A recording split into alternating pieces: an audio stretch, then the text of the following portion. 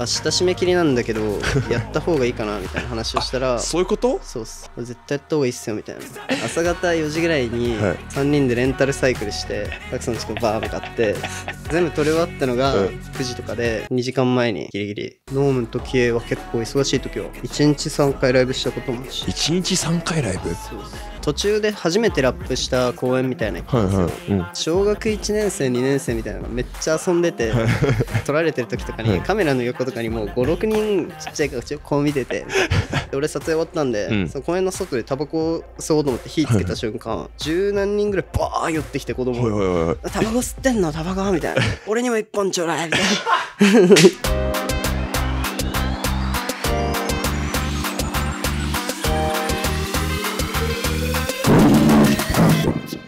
はいということで今回のゴールデンラッシュポッドキャストのゲストはラップスター2023年出演中のスパダ君です。よろしくお願いします。お願いしまお願いしすます。ありがとうございます。マジで。お願いします。いやーマジで食らったっすよ。サイファー。ありがとうございます。圧倒的にコメントとかもすごかったっすよね。そうですね。なんか応援してくれてる人はうんうんうん。結構見えましたね、どうですか？ラップスター出て、はやっぱまあ昔から多分それこそ、まあみんなノームコアとか、うんうんコーラとか、うんまあもう結構ある程度その周りと比べてもキャリアがある方なのかなとはうんうん思ってたんですけど、うんラップスターで結構大きく変わったなっていう感じはするんですか？うーんそうですねやっぱりまた改めて自分のことに興味持ってもらえたなみたいなのははいはいはい、はい。ありますね。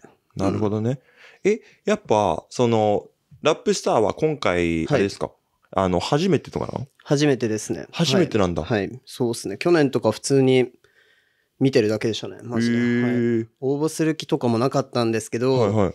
なんかその、今回エンジニアうん。のやってるアスキってやつに、うん。その出た方がいいかなって言ったら、あ絶対出た方がいいよみたいな。絶対出た方がいいみたいな。言言われたんでうんうん。あやっ応募してみてみたいな。なるほどね。はいえーえ、ちなみに、はいなんか、その、これを通してこうしていきたいなみたいな、なんとなくあったりしたの？うーん、そうですね。やっぱなんか自分のその活動の、まあ活動次の段階に上げるじゃないですけど、うんうんうんやっぱそれの、まあ助けになればいいかな、みたいはいはいはい。な。はい。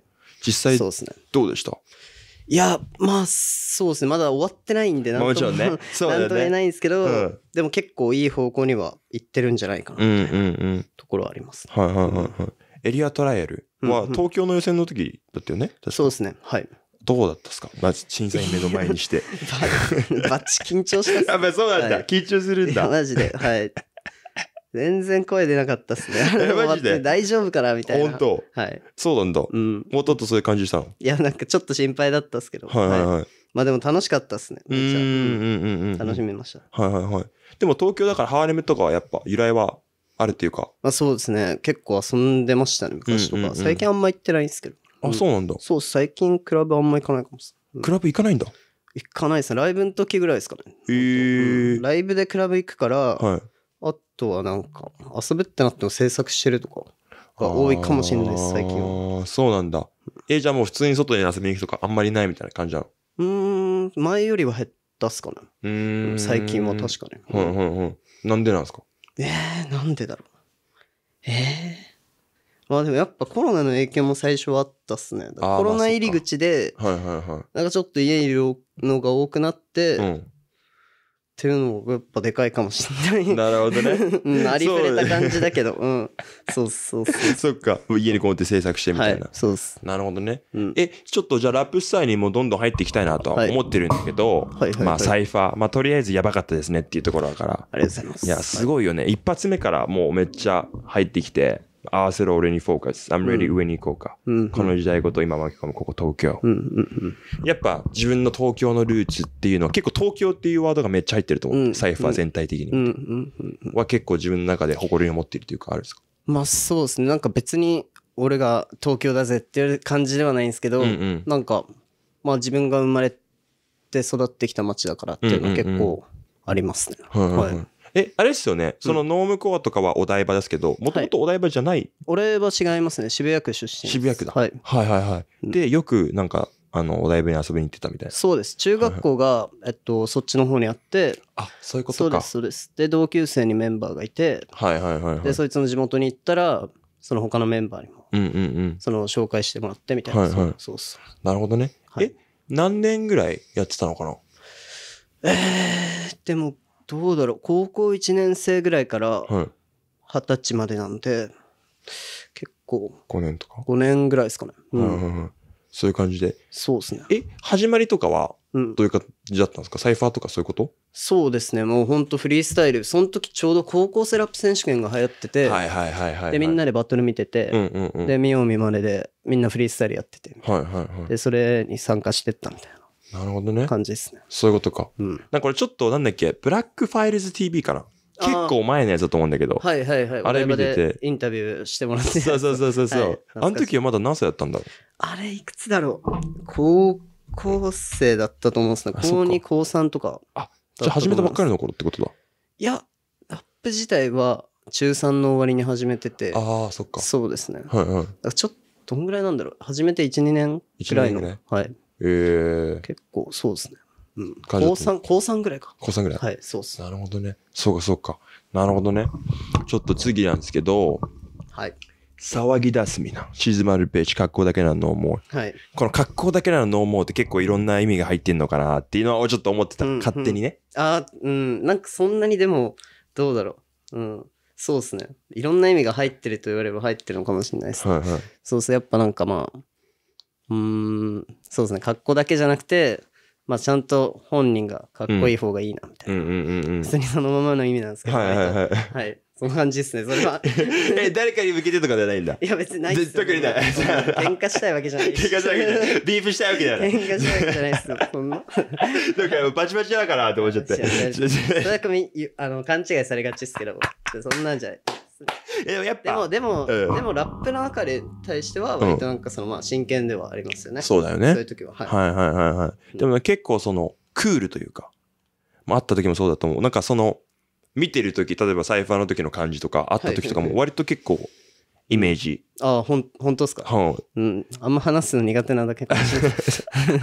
ちょっとシャイだろ。そうっすねそうっすね。あそうなんだ。どちらかというとそうかもしれない。えー、意外だね。そうっすやっぱ自分のこの言いたいこととかはやっぱラップだから言えるみたいな部分もあったりするんですか？あありますねやっぱ。うんうん。やっぱ文字に好きに自分で選べるうんうんじゃないですか。うん、確かに確かに。なんではい。ゆっくり言いたいこと考える時もあれば、はいはいはい。パッて出る時もありますけど、うんうんうんうん。そんな感じですかね、そういう感じか。あります。はい。え、結構時間かかるですか？リリック書くのとかは。ものによりますねなんか本当になんかパッて書くのもあれば、うん。結構その語呂そのフローとか考えて語呂めっちゃ考えて。やったりする時もあればうんうんうんうん。だからどうなんだろうかかる方だと思います。でも、この一つの方法が俺的にはもうゴールデンだみたいなうん方程式があるわけではないんだ。ああそうですねでもどうだろうなんとなくはありますね、うんうんありますのそのその作り方は大体フローを考えて、はいはい。それに対してまた言いたいことを当てはめてってみたいな、うんうんうんうん。まあ、最初にフローを考えるかもしれないですねあ、フローなんだやっぱ。はい、うんなんか乗り方はすげえ特殊なのかなっていうふうに俺はまあ聞いてて思って。はい、シーダさんとかも確か言ってたと思うんだけどう、んうんそうそう、なんか独特な乗り方っていうか、ああ確かに言ってもらってたっすうんうんうんうん。そういうのはなんか自分では意識してるとかあったりするうーんそうっすね。やっぱその自分が出せる声でのはいはい。例えば昔のノームの楽曲とかでも、うん。高い声使ってたりする時もあるし、はいはい。そのトラックの雰囲気に合わせて低い声ずっとキープしてる時もあるし。みたいな。結構その展開によって声とかを使い分けたりとかしてますね。一応。なるほどね。今回のこのラップスターの曲の時の、はい、なんか雰囲気というか、はどういう感じだったんですか？なんか、このやるにあたってみたいな。うん、やっぱなんかその素直に自分のなんですかねその思いっていうか、そのまあ勝ちたいっていう思いとかをやっぱ表現していくっていうのが結構、うんその1曲目とかはそうでしたね、特になるほどね、はい、すげえなんか、スピード感というか、勢いというか、なんかその、すげえ気持ちが伝わってくるフロー、歌詞、発声の仕方だなっていうのは、なんかすげえ、あめちゃめちゃ嬉しいそう、めっちゃ良かったね。もう、がとうございますめっちゃいい。めっちゃ良かったですね。そっか。ちなみに、んあの、結構俺ここの部分めっちゃ好きで、はいはいはいあの、年によっていろいろ書いてる。あここ結構いいいなと思って、うんうん15からラップゲーム、16にはバースメイク。うんうんうんこれはそっか、15歳の頃にフリースタイルとかを始めて。そうです。ねうん15の終わりの時そうですねはいはい15ぐらいの時に初めてフリースタイルして、はいみたいな、なるほどね。16歳で新しい曲、新しいじゃない間違えたえっと、新最初の曲作ってみたいな。うんなるほどね。うんえ、書こうと思ったきっかけとかあったんですか？いや、でもやっぱそのフリースタイルをどんどん続けてったら楽しいってなるし、はいはい。まあなんか段階上がるっていうか、うんうんそうフリースタイルだけじゃないっていうのを知って、うん。やっぱ曲作っていくことに自然にフォーカスいったっていうか。そういう感じではありました。はいはいはい。最初、多分、その、書こうと思うの結構むずいかなって、うんうん。なんとなく思うんですけど、うんうんその時はなんか、参考にしたりとかしたんですか？どういうふうに書き始めたんですか？えー、でもやっぱ自然に普段聴いてるそのその時聴いてた日本語ラップからとかはやっぱ影響を受けてたのかなとかお思ったりとかはしますね。うん。え、当時はどういう日本語ラップ聞いてたんですか？こうさんとか聞いてたし、はいはいはいはい。誰だろう。でも結構いろんな方聞いてましたね。こうさんとかはでうんもそのそれこそ同級生のうんそのクルーのメンバーがめっちゃ推しててあ、そうなんだ。で教えてくれてみたいな。はいはいはい。でめっちゃハマって結 結構影響を受けてたかもしれないですね。あ、のそうなんだ。はい。えー、うんなるほどね、うんそっからか。俺結構、あの、こっから18見たメキシコシティ、はいはいはい。逆転したはいはい。価値観。はいはいはい。これはすごいめっちゃ、うん。なんかめっちゃ気になるなと思ってて。あ、なんかそうですね。18歳ぐらいの時に、一回メキシコに行く機会があって、はいはい。その、そうですね。なんか環境の違いっていうのをやっぱ見て、うん。そのなんかまあ、自分の中で、その、自分が今までしてた生活とかのうん。こととかも考えるようになって、うんうん。その、結構逆に日本をその客観視できるみたいな、はいはい、はい。結構離れた距離じゃないですか。そうだね。みたいな、なんですかね、感覚うん。にその環境を見た時になって、はい。やっぱその自分の中でまた その考えが改まったというか、みたいなそうっす環境の違いをやっぱその知ることによってその今までのしてきたことで何が良かったのか悪いかとかもちょっと考えるきっかけになったのかうんなみたいな。ことで、そうっす見て逆転価値観した逆転確かにして逆転。うんはいはいはい。え、これは、なんでメキシコに行くことになったんですか？まずそこがまずすげえ謎というか。あなんかその全然もともと行く予定ではなかったんですけど、はい。そのあのもともと LA にはい友達とタイラーズ・クレーターのフェス見に行ってて、ああ、そうはいですそうですはいはいはい。で、確か、えっと、2日間、1週間行ったんですけど、はい。3日間か2日間ホテル取ってて、うんうん。で、途中からサンディエゴのその先輩の家に泊まりに行くみたいはいはい。な、なって、で、泊まりに行ったんですけど、サンディエゴからそのメキシコ近いんですよね。近い近い。近いですよね。そううんです。で、国境歩いてボーダー渡れるじゃないですか。はいはいはい。あそこに、から行ってみたいな。そうそう、なんかどうせだったらその行くかみたいな。そうだね。はいわれて、で、なんとなくノリで行ったんですけど、はいはいはい。あの、結構、まあ、すご、すごかったみたいな。そうはいはいはい。そうそうそう。なるほどね。はいどういう、などういうじ、俺、メキシコうんは行ったことなくて。うんうん。だたま俺も LA にいたから、うん友達とか結構行ってたんよ。そうすげえ近いからさ、うんうんサンディエゴに行ってた人もいるから。うんうんうん。どういう場所なのかなみたいな。俺も想像でしかないっていうか。結構、どうなんだろう。どういう場所うーん。結構でもなんか、どうなんだろう。YouTube とかで、それ調べたら分かりやすいと思うんですけど、うんうん。俺が行った時は夜だったんで、あ、そうなんだ。なんかその国境の、その LA から来る人うん。に対して、例えばタクシーの人とかがめっちゃ、はいはいなんですかね、めっちゃその、お金に対してめっちゃハングリーというか、そのやっぱ一気に、例えばそのタクシーの人たちも何人、何人、何十人も、はい。なんで結構、乗るか乗るか乗るかみたいな。乗るかみたいな、こっちからこっち。そうそう。俺のやつ乗れみたいな。そうそう。みたいな。そう、みんなハングリーだし、みたいな。はいはいはい結構だから、ドル、1ドルの価値も、うん。そこでガラッと変わるし。そうだよね。そうそう確かに確かに。うんえ？だから結構わかりやすく、うん。その環境が。違うというか。ボーダーを渡った瞬間に。場所ではあると思います。なるほどね。はい。え、そのメキシコシティはドル使えるんだ？使います。アメリカのドル普通に。はああ、そうなんだい。う。ん。でもなんかその全然1ドルでも、うん。多分、全然価値が違うというか、うんうんうん。感じではありますね。そうだよね。うんいろんなもの買えるよね、多分ね。そうですね。うん。えー、やっぱ結構貧しいのかな。そうですね。やっあぱ、そうだよね。うん、経済的にもそうだと思いますね。そうだよね。うん。え、メキシコシティは何したんですか？クラブとか行ったんですか？まあ、軽くそうですね。まあ、はいでも言うて、行ったのも、それ日帰りなんですよ。はいはいはい。多分2時間ぐらいかうん。しか行ってなかったと思うんです。でも一応まあ見て、回ってみたいな。軽く回って、みたいな。結構怖くねしかもだって夜の間メキシコシティ行ってて、治安多分結構悪くない？悪いっすね。だよね。はい。よく行ったね。歩いたね。そうっすね。なんか、その、まあ、若気ないたりというか、はい。行くとこまで行ってしまったなと。人が行ってしまったな、みたいな。なんか食った？向こうで。食っあ、飯は、うん食ってないっすね。あ食ってないの？食ってないっす。うん何したの？なんか普通に観光っていうか、ふらふら回ってたっす。へえ、なるほどね。そうっす。そっかそっか。わ、LA とかメキシコシティ行ってみたいな。すげえな。そうです。まあ、うん一応メキシコシティって書いてあるんですけど、その国境の街はティファナっていう。あー、ティアワナね。あー、そうだよね。そっちの方だ。はい。ティファナに行きました、一応。ティアワナはあれで有名ですよね。うん。あうんのー、風俗とか。あ、そうですね。なんか男のその夢かな、みたいそう、あそこでな。みたいなね。言われてますよね。そうそうそうそう。俺は行ったことないんだけど、話聞く限りはすごい。すごいっすよね。すごい。あれはすごいですよね。話聞くだけで。ここではあんま話せないぐらいのやばい、やばいところですね。はい。カットカットカガットット。ガット。ガットここに書いてて、20に一度のオンリー。はい。うん。はいはいはい。ここは20日ドロ。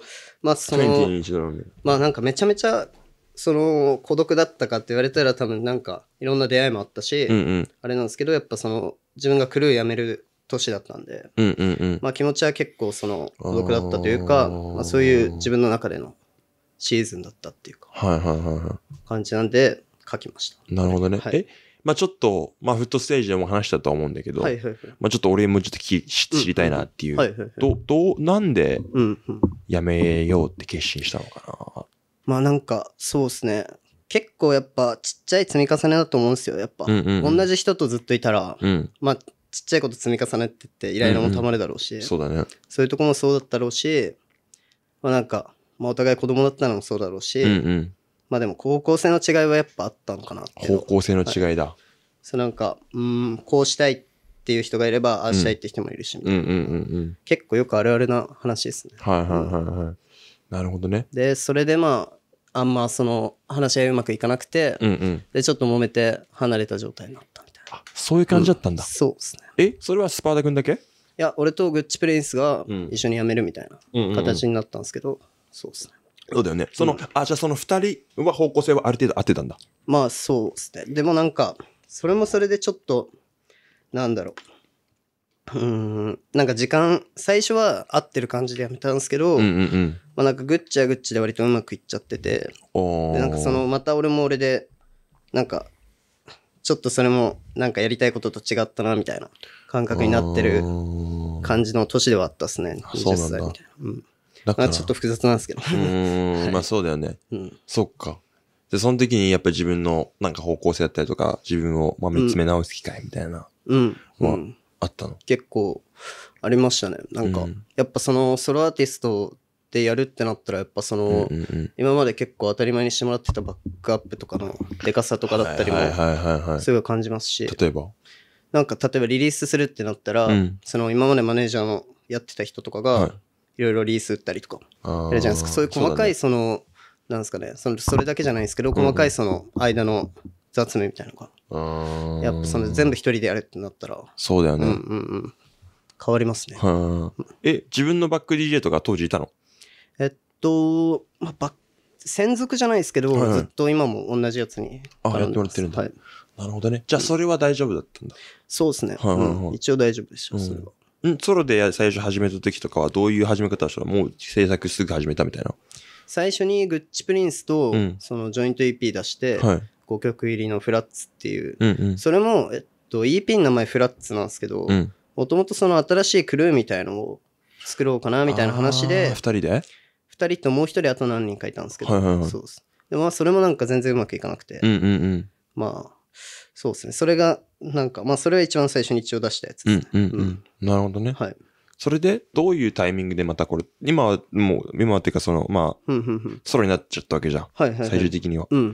それは、まあそこからじゃあ自分でやるってなった時には、じ。ゃあ自分で曲作ったりとかするみたいな。そうですね。結構やっぱ、一から作りましたね。うーん。なるほどね。うん。まあちょっと、まあグッチプリンス君の、もう来た方がいい？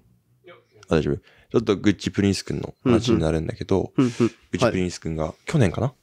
そうっすね。去年か。去年、うん。去年ですね亡くなったし、亡くなって、うん、うん、うん。その当時とかは、どういう心境だったのかなっていう、もしよければなんですけうど。ーん。いや、まあ当然、あショックでしたね。うんやっぱその、うん、ちょうどそれこそ、そんぐらいのその時期に、なんか、あんまりその連絡は取り合ってたんですけど、うんあんまり会ってなかったんですよ。あ、そうなんだ。で、前日とかも、結構久しぶりに俺から連絡して、うん何してんのみたいな、うんうんうん。遊ぼうぜみたいなうんうん。話とかしてて、普通に電話とかもしてたんですよ。うんうんで、普通に、なんか、でも、なんか予定合わなくて、うん。会えなかったんですけど、うん。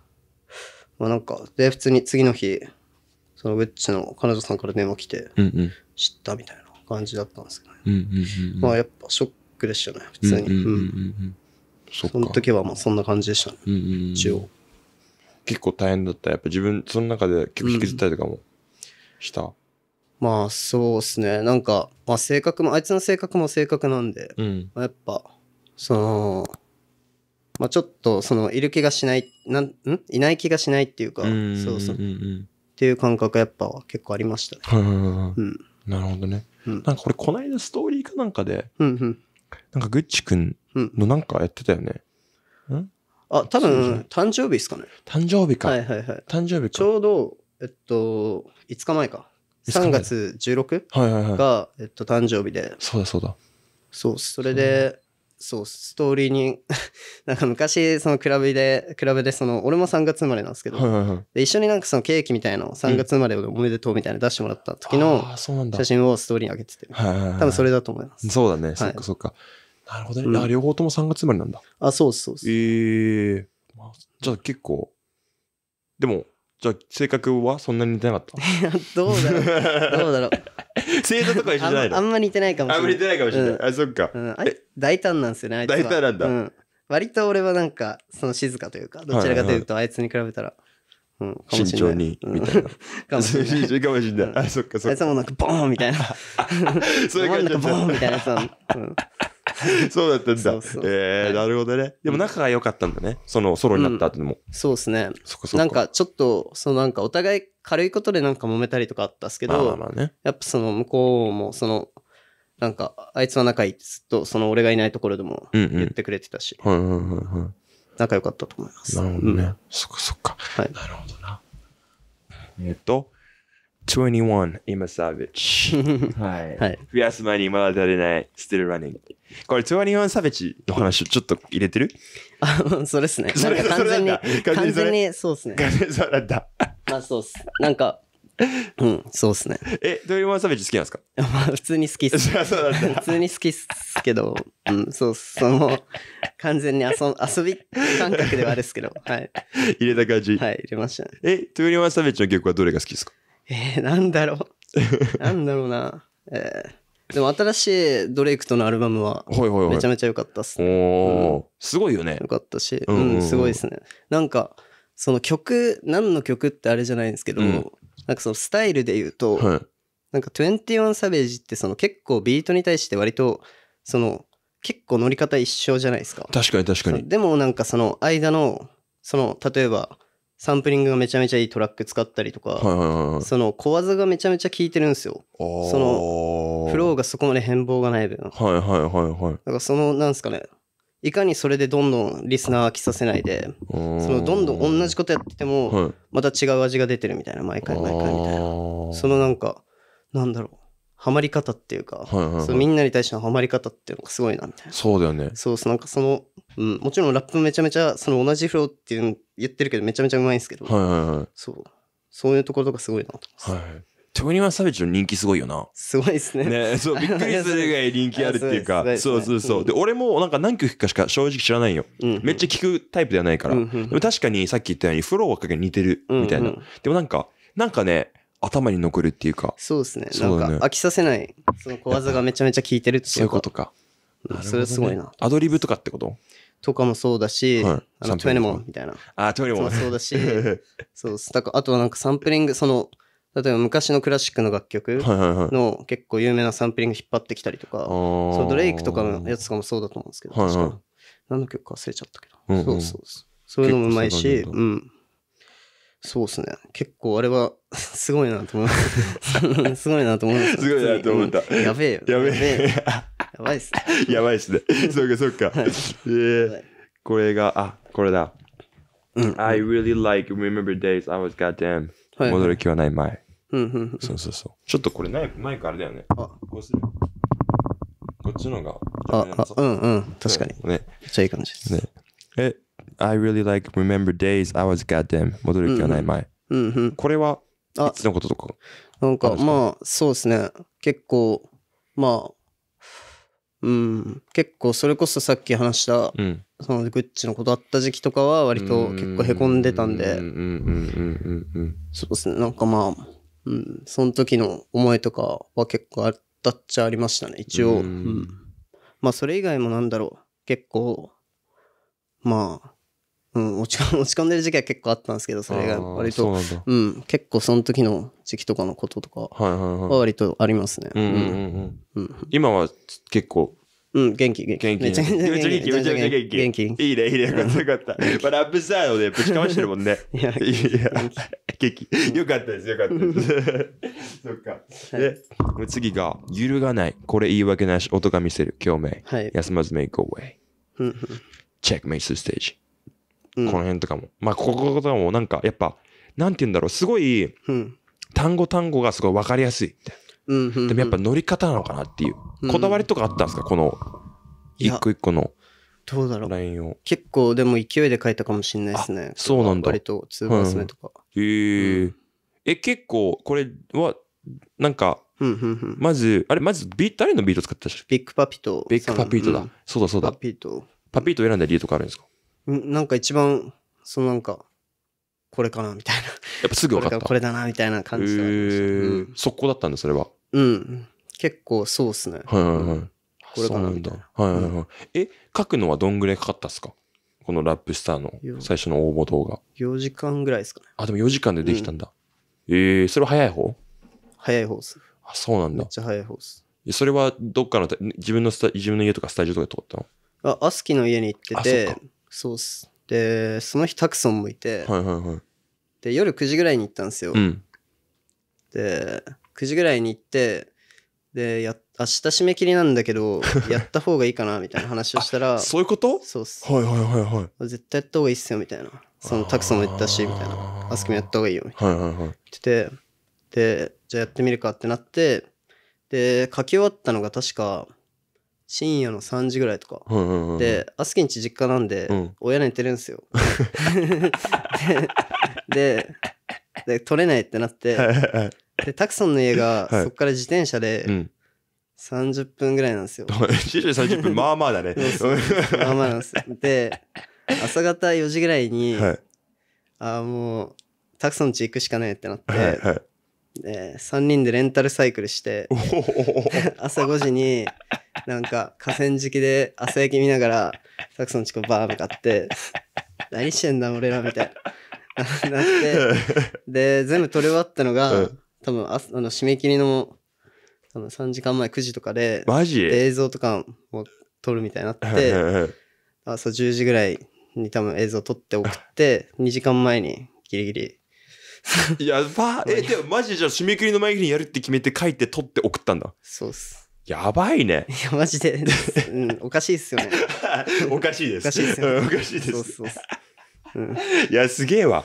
いや、そんな感じなんだ。だから応募動画、あれ、うんなんか時計映ってるんですよ。はいはいはい。多分、見ればわかるんですけど、うん朝10時ぐらいの。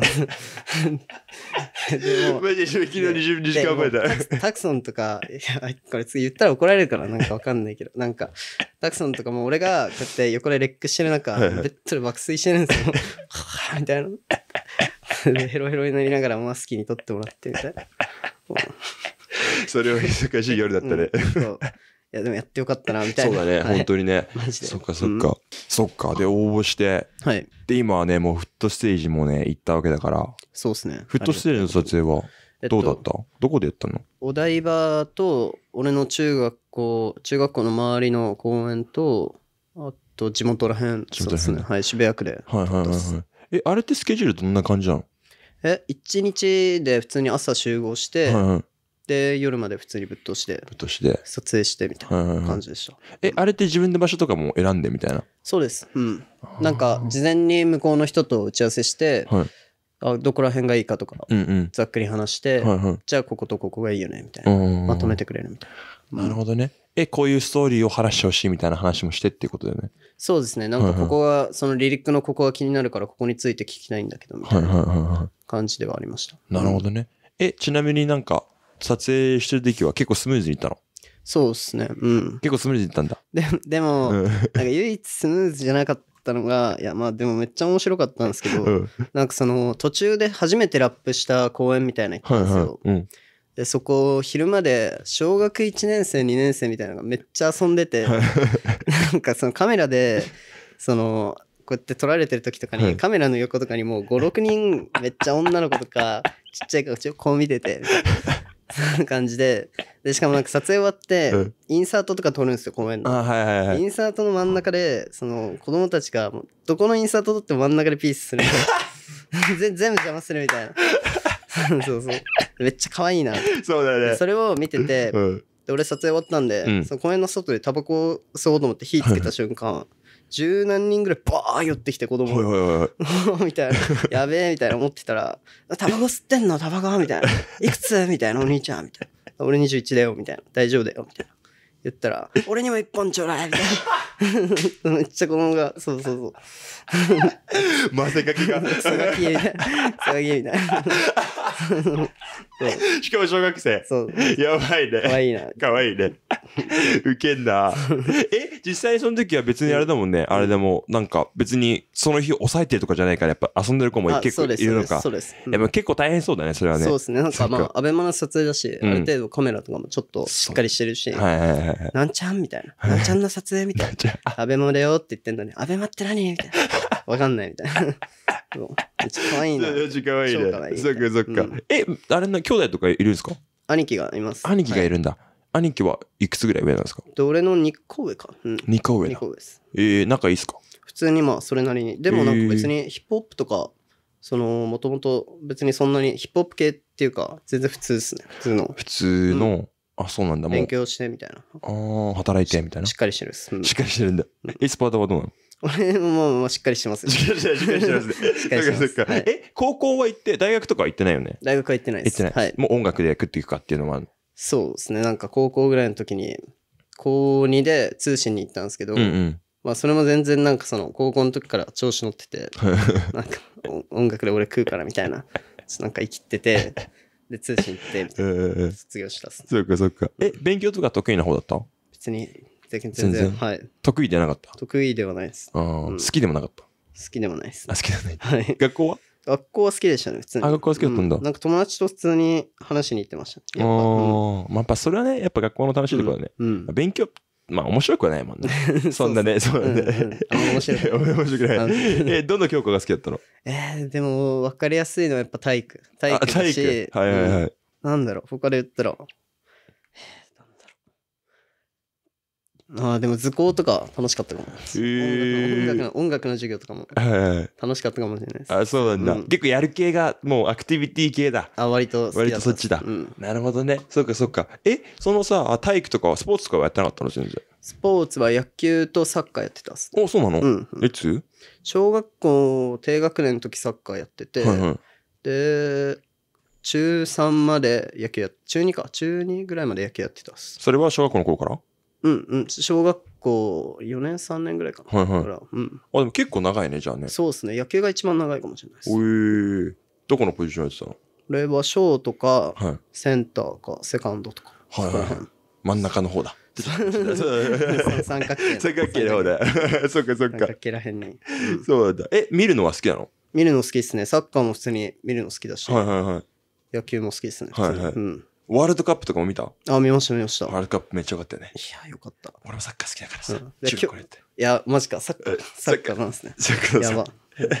うまそう。いやいや、それ、実はまあ、正直言うと、俺、まあ、2軍のエース。2軍のエースで張ってて、まあ、ベンチバッチリ温めてました。みたいな感じだったんですけど、二軍のエース。2軍のエースやばいです。もう走るのが嫌いすぎて。外周とかされさせられるやん。あー。マジでどうやってサボるしかかしか考えてああ、ない。わかる。そう、どれだけ遅く行ったら、いや、ちょっと遅くなったんで外周少なめで、みたいうんな。歩いてて先輩に見つかるみたいな。そうそうそうそう結構あった。あるっすよね。そうなんで。今日の野球見たあ、見た。見たっすねやばかったねいや、マジでやばかったっすね。俺もう泣いちゃったもんね、俺もうねん。いや、ドラマ、ドラマドラマすぎたねマジでドラマ ドラマすぎた、あれは。いや、今日朝見てて、いや、これ撮影してる日が、うん WBC の、えっと、準決勝。準決勝だ。で、メキシコ戦ですね。メキシコ戦うん負けてたもんね。いや、そうっすね。ねえうんいや、負けるかなみたいな流れだったけど、うんうんうん。もう、あんな綺麗に、うん。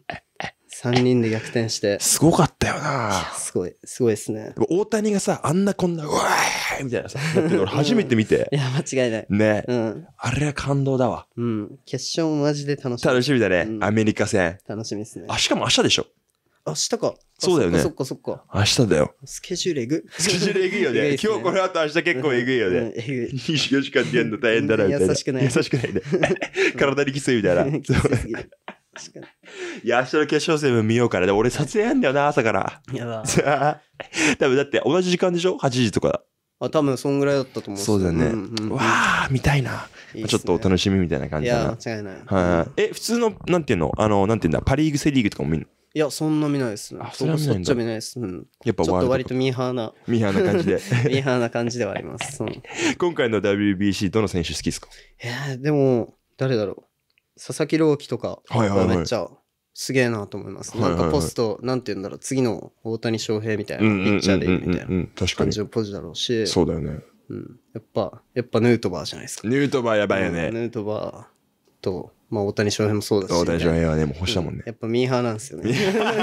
やっぱミーハーいや、でもそれは俺もちょっと、まあ、同じミーハーだし、イエーイみたいな。い いやいややいや、いや、ヌートバーはでもマジいで、や、やばいっすねやばいよね。毎回すげえ打ってくれるっしょマジで頼りになるしう。ん。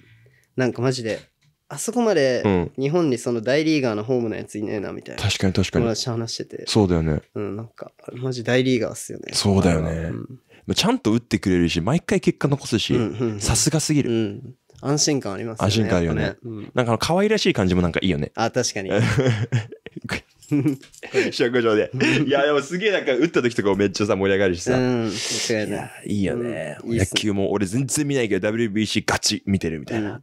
日本にその、なんだろう、日本人がね、いいバイス、いいいいバイブス持ってるっていうか、ああ、確かにちょっと。なんかその、うんなんだろう、あるっすよね。あるね。あ野生的っていうか、はいはいなんていちょっとそういうのいいな、みたいな。い。いいよね。なんかすごい雰囲気良くない？いいっすね。いいよね。ヌートバー。ヌートバー。ヌートバーやべえ。マジートバーやべえみたいな。やべえ。やばいっすね。やばいですね。うんそっかそっか。え、ちなみにじゃあスポーツは結構やってたけど、昔から音楽やってたわけじゃないの？そうっすね。なんか、どうだろう。うん、やってなかったかも。楽器とかははい触ってもないし。ええ。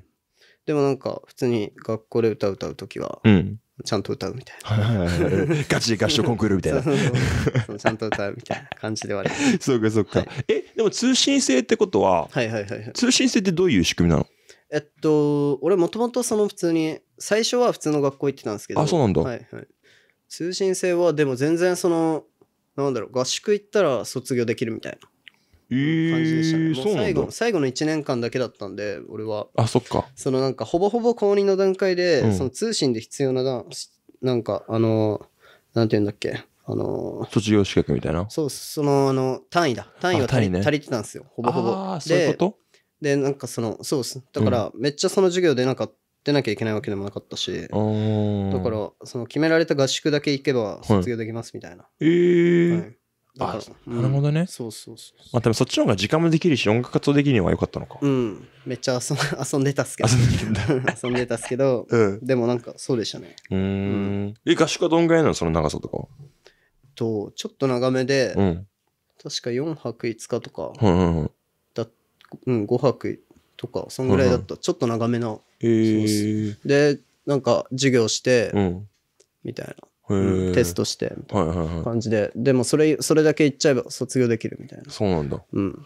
なるほどね。そうそう。おかしな学校。おかしなかったね。確かに確かに。え、高校生の時から結構比べてたの？ややっぱ。言ってましたね。言ってたんだ。こてか高校生の時の方が言ってましたね。あー、そっか。はい。え、どこのクラブ行ってたんですか？その時はやっぱブエノスですかね。どこ？ブエノス、今ないんですけど、はいはいはい。今は東京ネバーランドっていうクラブになってるんですけど、あーはいはいはいはい。あの、そこがもともとブエノスっていううんうんクラブで、そうですね、そこめちゃめちゃ行ってました。はいはいえ、そのブエノスを見つけたきっかけとかなんかあったんですか？えーっと、確か、なんか僕が、なんだっけな、高1、そのまだ LA に行く前に、うん。前にも一回アメリカに行ってて、あ、そうなんだ。で、その時期に、ちょうどその日本にいるうん。クルーのみんなが、その、なんだろう、その結構業界の人っていうか、うんうんと知り合いになるタイミングで、えーで俺がもうその、アメリカから日本に帰ってきたら、はいそのみんななんかもうベノスで遊んでるし、みたいな。で、俺そこで初めてベノス行ったんですよ。あ、そういうこと？のそう。いや、もうやべえから、みたいな感じで戻ったら、そうそうそう。もう結構状況変わってるよ、みたいな。えー。で、なんかもう、いろんな知り合いの人とか向こうできてて、はいはいはい。で、紹介してもらって、みたいな。なるほどそうね。そうそう。結構もうガチガチヒップホップみたいなクラブなの？クラブだった？いやーまあそうですね。でもなんかまあ普通に、なんだろう。それ以外のイベントもやってたし、はい。でもなんか基本、やっぱヒップホップでしたね。なるほどね。はい。え、どの辺にあるんだろう？ネバーランド？ま。えっと、丸山町のエイジアの前ですね。あー、エイジアわかるか。んわかんねえか。聞いたことあるかもしれない。ハーレム、あれだ、えっと、オーイスト。はい。オーイストの一個隣なんですけど、そうっす。角の、角のとこで、ちょうど。えーそう、あ、そうなんだうん。今、ネバーランドだね。今、そうっすね。そっか結そっか構、もう、全然違うクラブになっちゃって。はいはいはいはい。うん。なるほどね。え、もうその時にイベントとかでライブとかもしてたんだ。やっぱしてました。はい。どんぐらいの頻度でライブしてですか？えでも結構、忙しい時は、はい。あ、でもどうだろう。うーん、でも毎週土日どっちかは絶対ライブあったっすかね。えー、すごいね。はいぐらいな時もありましたね。はいはいはいうんはい。うわ、すげえな。もうガチガチだね。ノームとキエは結構忙しい時は、もうそっか。1日3回ライブしたこともあるし。1日3回ライブ？そうっす。い ああったっすね。うん、生らハードスケジュールだね。うん、もうヘロヘロでしたね。そうだよね。普通に考えてて。やヘロば。ヘロでしたねえ、違う、全部違うクラブなの？全部違ったっすね。え、何時から何時の間でその3個のクラブ、えライブなの？ーっと、朝、確か、どうだったっけな。えっと、朝に、えっと、結構午前中ぐらい、うん。もう12時前ぐらいに、えっと、千葉の方でライブあって、うん。で、次に、昼過ぎに、新木場アゲハでライブあって、はいで、最後、えっと、ラフォーレでライブがあるみたいな、原宿のみたいな日だったっすね、その時は。やば。え、でも当時高校生とかだから、え、何バスとかで移動したの？どういう風に移動してんの？え、なん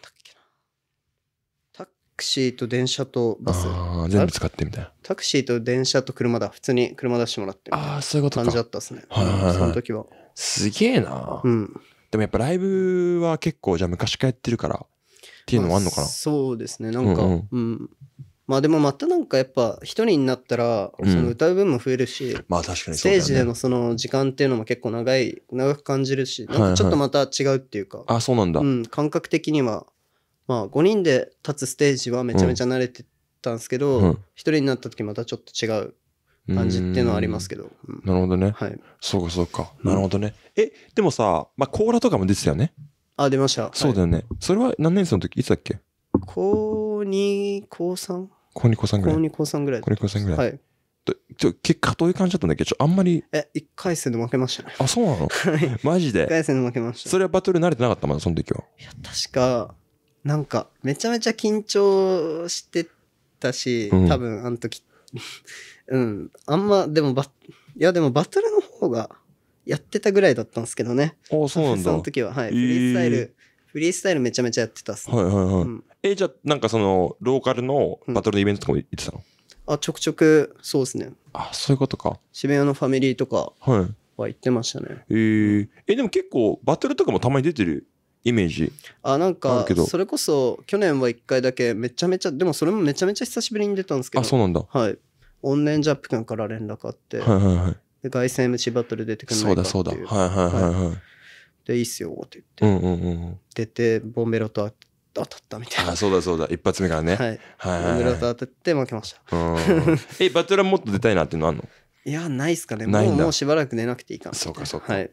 なるほどね。まあでも音源の方でっていうのもあるもんね。いや、なんかそうですね。そっちに集中できたらいいな、みたいな。うんうんうんうんそうっす全然嫌いじゃないんですけど、バトルも楽しいし、めちゃめちゃ、うんうんうん。あの盛り上がった瞬間とか、はいめちゃめちゃ楽しいの分かるんですけど、うんなんかまあ、もうちょい今は音源集中した方がいいのかな、みたいうんな時期ではあります。なるほどねはい。えちなみになんだけど、はいなんか一日のルーティンとかどういう感じなの一日のルーティン。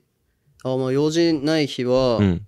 朝起きて、ご飯食べて、タバコ吸って、で、コーヒー飲んで、で、新しく出た新譜とかチェックして、で、まあ、撮りたい曲あったらはい。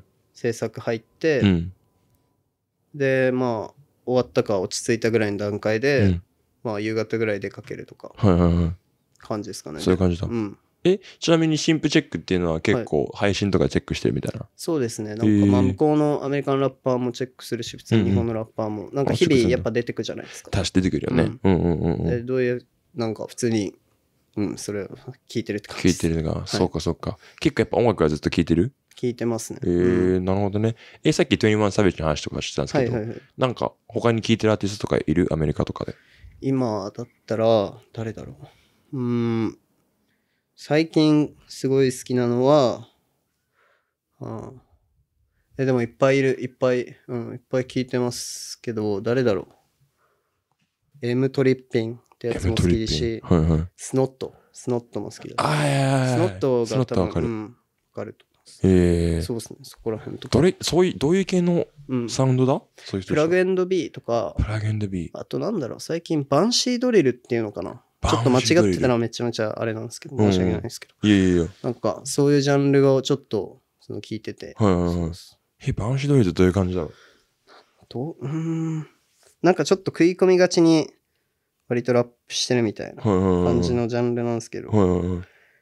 ドリルいろんなジャンルありすぎてね。そうですね、なんか。なんだ、最近は、俺が知ってんのはジャージークラブとか。あ、ジャージジークラブでも、はいはいあれですね、この間そういえば一曲作りましたね。お、作ったんだ。ジャージークラブやば。うん。はいはいはいそれも客円、あれ、あの、客円で入ったんですけど、はいはい沖縄のジョセフ・ブラックエルってやつと、はいはいはい一曲作って、うんうんうん。はいそれもなんかタイミングで出ると思います。おーはい。でも結構なんだろう、今言ったラッパーだけじゃなくても、うん割と、なんかオールマイティにずっと聞いてますね。うーん。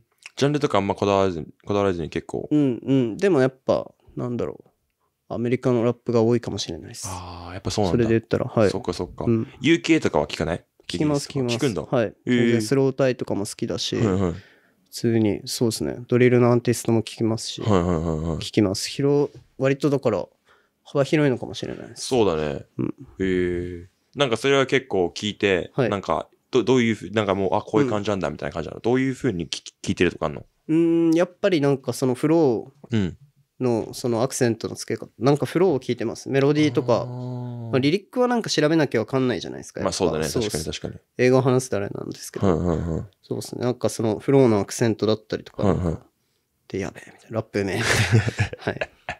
聞いてる感じだ。そうそうそう。え、じゃあはいドリルは結構聞いて、ドリルが多いの？やっぱ最近。まあでもさっきさ、幅はえーでもジャンルが広いって言ってたけど。うーん。でもそのさっき言ったその新しいなんかバンシードリルみたいなのは割と最近聞いてるかもしれうないです。ー。うんなるほどね。ちょっと新しいで言ったらそこかもしれないです。はいはいはい。そうかそうか。うん。名前、バンシードリルで名前が合ってるか定かでもないんですけど。うん なんかそそんな。そういう感じの。はいそうかそうか。はいなるほどね。うんえーちなみになんかちょっとめっちゃプライベートな話になっちゃうんだけど、はいはいはいなんか好きな食べ物とかあったりする？え、和食好きっすね。あ和食好きなんだ和食めちゃめちゃ好き。えーはいどういう和食が好きなの？例えば。えー結構もうバランスがいいのが割と好きかもしれないです。バランスがいい食事が好きなんだ。でそう、うん。で、割と胃に優しい感じが。いい優しい感じが。あ、そうバなのランスがいいのが好きっすね。は いえ、なに胃腸が弱いとか？いやないないない。ないないないない。別 にないです。何か弱いわけじゃないですけど、別になんかその、うん。なんか和食ってでも、なんかすげえ、すげえなと思ってて、うんうんうん普通に。なんかあの絶妙なバランスというか、はいはいはい。その薄いんだけど他のジャンクフードとかに比べたら味、はいでもなんかその中にその旨味があって整ってるみたいな。はいはいはい。なんか芸術っていうかな なんかすげえなみたいなバランスすげえなみたいな。そうです、は思いながら食べてるんだ。い、すごい当たり前なこと言ってる、はい、和食は確かにバランスめっちゃいいもんね。そうっす。なんかそうっす。バラン和食好きっすね。そうなんだ。はい。え、この和食が好きとかないの？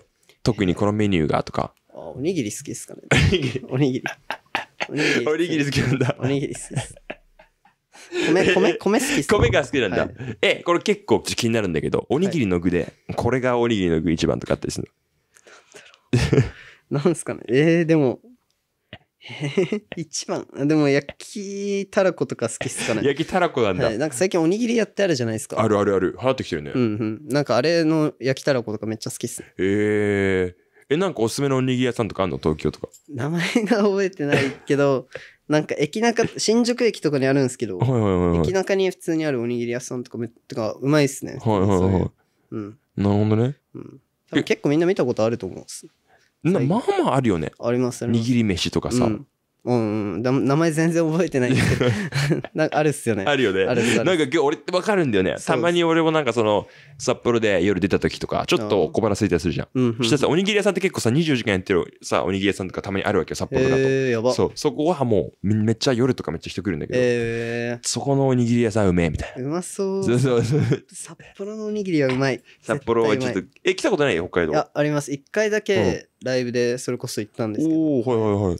その時だけす、いや、でもそれの前にちっちゃい頃とかあるんですけど、ああ、旅行みたいな。うんそうです。でもライブとかで行ったの一回だけですか、はいはいはい。うん、行きたいっすね、マジで。ああ、来てほしいよねい。や、行きたいっすね。でも北海道は結構みんな好きって言ってくれるから、まあ俺は地元だからさ、いや嬉しい、好きっすね札幌。もううん。超いいとこ。いや、超いいところですよ、本当に。うん。ね 飯がマジでうまい。飯がマジでうまい。マジで美味しいです。マジでうまい自然も豊かだし。そうだよね。うん。え、結構アウトドアとかあんましない感じ？いや、まあ、友達と普通になんかコテージ行ったりとか、えーなんかそういう遊びとかはいはいはいしま。すね。最近行っ去年、去年行ったっすけど、えー最近あんま行ってないかも。たあ、そうなんだうん。キャンプみたいな感じ？そうそうそっかそっかなんか普通にまあ、なんか、焚き火して、みたいな。はいはいはい。バーベキューしてとか。あいいねうん。そんな感じでそういうす。感じなんだ。え、ある程度なんか今遊んでる人たちとは結構一緒なの？うん。なん、なんだかんだ一緒かもしれない。なんだかんだ一緒うん。えー、別に来るとかではなく？うん。クルーじゃなくて普通に友達みたいなはいはい感じかはいはいもしれないです。でもなんかライブとかで、うん。そいつが空いてたら、はい。じゃあ一緒に行こうよっつって。行ったりとかもあるし、うんう。うんん。そんな感じですかね。なるほどねうん。いいねいいね。え、海と山はどっち派っすか？えー、でもな、どっちだろう？難しいな。えー。あ、でも海好きかもしれないですね。あ海好きなんだうん。ええうん。でも東京ってさ、うん海ないよね。あるっちゃあるけど汚いっすよね。あうんあ、やっぱそっそのか。入れる海とかではないけど、はいはいみたいな。うん。一応あるっちゃあるうんうん。感じではあるっす。え、あの、お台場ってあれって海なの？海じゃないよね？海っす。海っすけど海なんだ。うん。海だけど汚いっす。汚い 汚い。そうなんだ。あそこは入るとこじゃないんだ。うん。あんまり、でも入ってる人とかいますよね。ぱ。あ、いるんだ。いい俺全くわかんないんですよ。お台場とかも俺多分ね、うんうん。過去で1回行ったか行ってないかぐらいね。おーまあ確かにでもあんまり来ないっちゃ来ないかもしれないですね普通に生活してたら、そうだよね。うんなんかテレビ出てる人とかはめっちゃ行くかもしんない。ああ確かにけどうんうん、なんかあんまり、商業施設、なんか俺その時行ったと思うんだけど。ああうんそっち系はめちゃめちゃ充充実してる感じはそうだよね、ん、そんな感じするよね。うんそうかそうか。そう俺湘南とか行ってみたいなみたいな。でもそう東京じゃないよね。うん神奈川神奈川。神奈川全然違う。湘南まで行ったらでもうん。海綺麗そうだよね。うん、普通にサーフィンやってる人がめっちゃいるっすもんね、そうだよね。なんか俺も全然サーフィンできないんだけど、テラスハウス湘南みたいな。あ確かに。そうそうそうそう。そういうイメージがあるから、そうそうそう。え、なんかネットフリックスとか見たりしないの？な見ます見ます。映画とか。ネットフリッククスめっちゃ見ますね。おお、うん。なんか最近面白かった映画とかあったりする？えー、でも、なんだろう。うん、最近見てたな。うーん、インフォーマーっていうドラあマ、ードラマ見てましたね。最近わかるわかるわかる。うんなんか、あの情報屋みたいな。はいはいはいはいそうそう、やつとか。うんうんうんあ。となんだろう、そう。それ、うん。あとアニメ結構見るかもしれないあ、。アニメ見んだ。アニメも見,、うん、え見ます見ます。ー、どういうアニメですか？最近だったらなんだろうな。サイバーパンクも見てたし、はいはいはい。サイバーパンクめちゃめちゃ面白かった。うんあとは、名前、なんだっけな。東京グールも東京グールもなんか、なんとなく見直してたし、うんうんうんうんうん。あとは、あ、でも、ジョジョが好きかもしれあない、です。ジョジョ好きなんだ。はい。ずもう全部見た？全部見てます。アニメも全部見てます。漫画は読んでないんですけど。あ、そうななんだ。アニメ派だ。アニメで、うん、え見てまーす。どのシーズンが好きとかあるんですか？えー、でも、黄金の風が好きか黄金の風。もしれないです。シーズンなんぼだ、それ？シーズン、あの、なんぼだっけな？2、5、五5。5なんだ。ほら5なんだ。うん、あの、ブチャラティの回っすね。ーブチャラティとジョルノ・ジョバーナの。マジでさ、みんなさ、好きだよね。ジョジョ。俺、俺マジで見たことないよ。ええー、見た方がいい。それ見た方がいいんだよね。絶対見た方がいい絶対見た方がいいよね。いや、それはめっちゃみんなに言われるから、うん見よう見ようと思うんだけど、未だに見えてないっていう。結構おもろいっすね。そうだよね。うん。別にみんな言うもん。俺、あれ見たんだよね。なんだっけ、あの、岸辺露伴はあ、動かない。動かない。岸辺露伴動かない。そう。んなんかアマゾンでドラマやってたから、ああ、はい。それは普通におもろいなと思ったから、え、ドラマって実写版っすか？実写版。実写版あるんですか？あれ。あるよ。へえー。NHK だっけ？知らん ?NHK が制作してへる。ちょっと見てください。アマプラ持ってる？思ってるっす、思ってる。アマプラでやってるようんえー、やば。シーズン3ぐらいまで出てんのかなもう。えー、えー、確かそんなんだ。そうえ、だってあれアニメだったらめっちゃ少ないですよね。そうっすよね。うん。少ないですよね。アニメだったら。少ないんだ。へうんーそう。へでもなんかー一シーズンね、4話ぐらいしかないの。へー。あ、結構おそう。もろかった。おもろそう。ちょっと見てください。うん、見ます。見ますマジ見ます。え、サイバーパンク、サイバーパンクあれじゃない？でも、め、なんかこの間なんか賞受賞してたら見たんだよね。ツイッター？かな？あ、クランチーロールの、クランチーロールわかる？わかんないです。なんかクランチーロールっていう、アメリカ主体なのかな？ちょっとわかんないんだけど、はいはいはい。アニメだけのネットフリックスみたいな。へえ、そんなんで、ね。そう、月額でアニメ見放題みたいな、もう全部アニメやるみたいな感じなんだけど、そのクランチーロールの。なんかアカデミーみたいな感じがあって、うんうんサイバーパンクが1位になってた。へえ、すげえな。すごいよね。うん、すげえ。やっぱおもろいんだ。おもろいです。なんかあれゲームもあって、ゲームもあ、そうなの？ややりたいんですけど、やってないんですよね、まだ。ゲームで、多分ゲームの方が最初に出たんじゃないですかね。ゲームパンク、あ、サイバーパンク。そうそうへそう。ー。ゲームもおもろいみたいな。はいはいはいそうはい。そっち方面でも人気みたいな。のもありますよね。はいはいはいはい確かうんなるほどね。うん。あ、ちょっと全然俺もサイバーパンクさ、ネットフリックスでめっちゃ出てたけど、気になってはいたんだけど、うんうん全然見れてなかったから。いや、おもろいっすね、割と。なんか結構王道なアニメっちゃ王道なアニメかもしれないですけど、でもなんか、だからこそ見やすい感は、じなんだはいはいはいちょっ。とあるかもしれないです。え、どういうストーリーなんとなくあらすじどういう感じななんかまあ、未来、未来の、うんまあ、街で、みたいな。のはいはい。設定はまず未来なんですよ。うんうん未来で、なんかインプラントって言って、はい。例えばその手とかをロボットにできるんですよ。あー、なるほどね。で、その、なんすかね、ロボットにしていくんですけど、うん。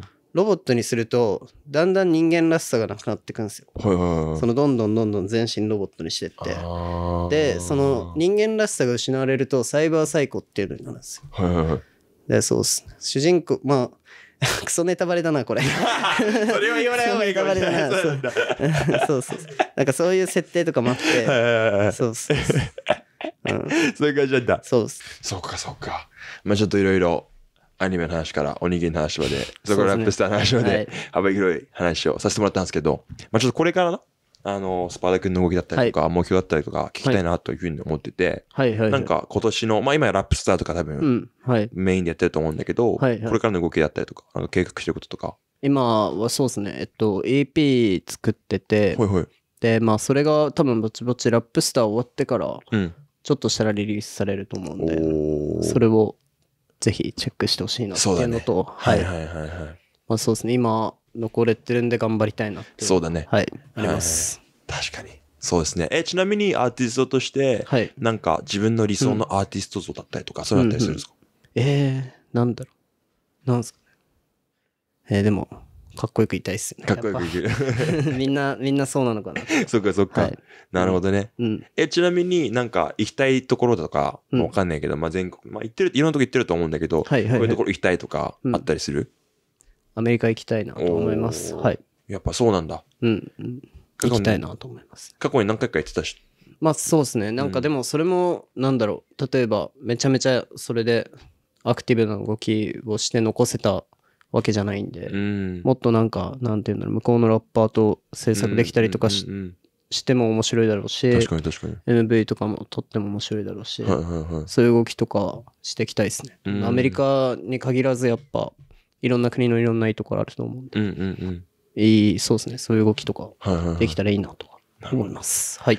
わかりました。うんはい。ということで、はい。今ね、あの、爆心中のスパーダ君ですけど、これからもね、EP 含め、まあ、いろいろね、あまた活躍されてくれると思うのでね、皆さんぜひぜひサポートの方お願いしますということで、まあみんな見てると思うんで、これからのね、活躍も楽しみにね、して、EP、ラップスター、リリース、すべて楽しみにしていきたいなと思います。はい。ということで、また次回のエピソードでお会いしましょう。ペースピースアウト